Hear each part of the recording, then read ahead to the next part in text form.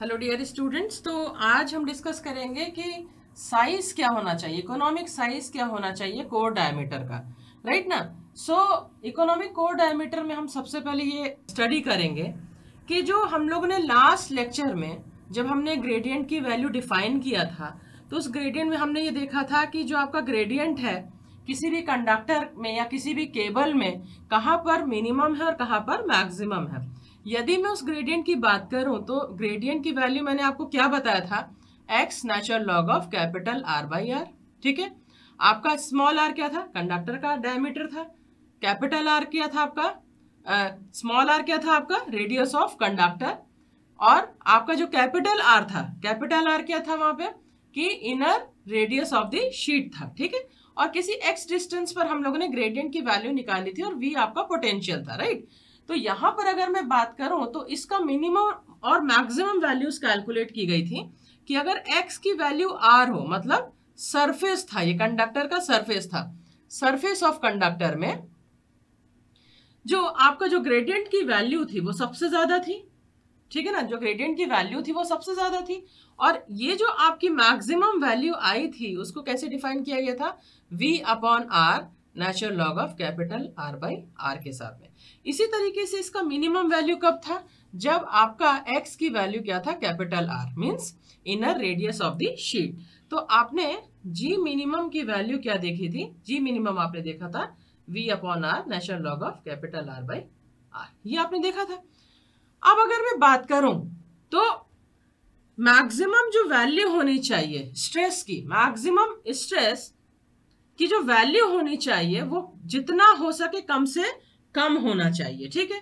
जब आपका वोल्टेज और शीट का जो डायमीटर आर है, ये दो चीज़ें क्या है इसमें? फिक्स्ड है। तो सिर्फ़ जो वायरिंग पैरामीटर आपका क्या है? कोर डायमीटर कोर डायमीटर आपका क्या है? ये क्या है? कोर का रेडियस है। कंडक्टर कोर का? इसी से आप इसका डायमीटर भी डिफाइन कर सकते हैं। यदि आप इसको टू आर कर दें तो आपका क्या हो जाएगा? डाया हो जाएगा कोर का। तो ये जो वेरिएबल है, वो क्या है आपका? आर है यहाँ पे। तो आर को कुछ इस तरीके से हमें सेलेक्ट करना पड़ता है कि जी मैक्स की जो वैल्यू हो, वो मिनिमम हो। ठीक है? आर की वैल्यू कुछ इस तरीके से हमें सेलेक्ट करना पड़ता है कि जो आपका जी मैक्स आए, वो क्या हो जाए? मिनिमम वैल्यू को अप्रोच करे। ठीक है? अब ये मिनिमम वैल्यू को अप्रोच कब कर सकता है? जब आपका अगर ये जो आपका डिनोमिनेटर है, उसको, उसमें वेरिएबल पैरामीटर क्या है? आर है। वेरिएबल क्या है? यहाँ पे आर है। अगर उसको डी आर के रेस्पेक्ट में डिफ्रेंशिएट कर दिया जाए और इक्वल टू अगर ज़ीरो पुट किया जाए तो हम उसकी मिनिमम वैल्यू फाइंड आउट कर सकते हैं।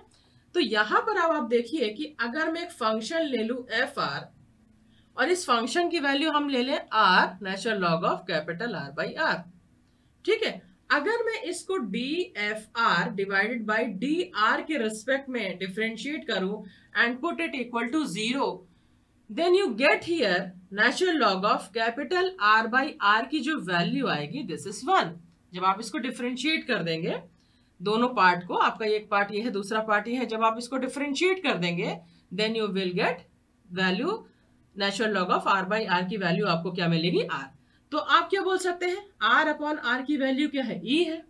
और इसकी जो सुटेबल वैल्यू होगी that is two point seven one eight two point seven one eight तो आर की वैल्यू क्या होनी चाहिए? R should be R should be capital R divided by two point seven one eight ठीक है ना? या फिर अगर इसको डायमीटर के टर्म्स में बोला जाए, अगर कोर डायमीटर या शीट डायमीटर के टर्म्स में बोला जाए तो हम इसको डी भी लिख सकते हैं यहाँ पे। तो क्या हो जाएगा? R equal to D upon two point seven one eight तो जो इसको भी अगर हम डी के रेस्पेक्ट में लिखना चाहें तो हम इसको भी डी लिख लें और यहाँ पर भी हम कैपिटल डी के टर्म्स में लिख लें, क्योंकि हम यहाँ पे कोर डायमीटर की बात कर रहे हैं।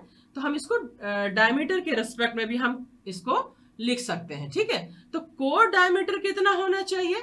Core diameter must be one upon two point seven one eight times the sheet diameter okay so as to give the minimum value of G max ठीक है? तो कोर डायमीटर क्या होना चाहिए? 1.2718 टाइम्स द शीट डायमीटर तो उस condition में जो जी मैक्स की वैल्यू हमको मिलेगी, वो क्या मिलेगी?